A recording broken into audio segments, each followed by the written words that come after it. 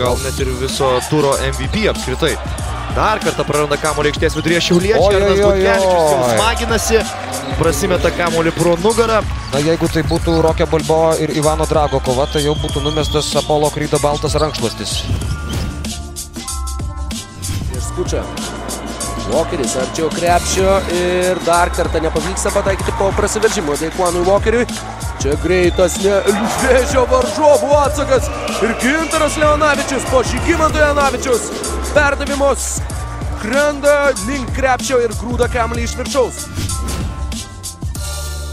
Laimonas Kisėlius tokiu penketu žaidė šeimininkai irgi visi krepšininkai nepradėjo mačo starto penketą žabas.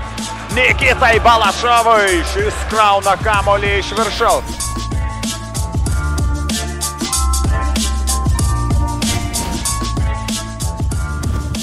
Diksas atsitraukė nuo Seibučio ir manau, kad tai yra labai protinga rizika. Renalas Seibutis šiandien mėto pro šalį. Visą sezoną irgi dažniausiai... Wow, ho, ho.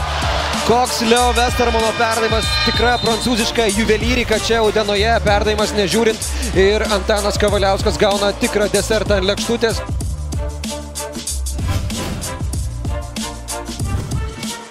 Žabas tiesiai į rankas Rokui Gedraičiui, perimtas kamolys, 3 prieš 1.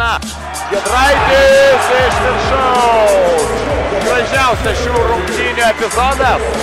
Sprogstamąją jėgą pademonstravo dabar, na, galbūt potencialus Lietuvos rinktinės kandidatas. Jau žino, kaip modeliuos situaciją Dainis Adomaitis.